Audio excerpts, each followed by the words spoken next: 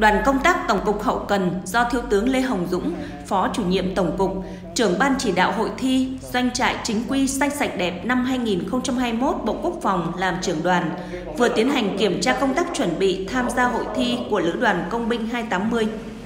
Lữ đoàn Công binh 280 là đơn vị đại diện cho quân khu tham gia hội thi doanh trại chính quy xanh sạch đẹp năm 2021 khối đơn vị binh chủng kỹ thuật thuộc các quân khu, quân đoàn, quân binh chủng và Bộ Tư lệnh Bộ đội Biên phòng. Đến nay, Lữ đoàn Công binh 280 đã tổ chức củng cố, duy tu cơ sở vật chất đạt 80% các hạng mục, hệ thống biển bảng, thiết chế văn hóa, cảnh quan môi trường từng bước được sửa chữa thay mới, đảm bảo đồng bộ thống nhất.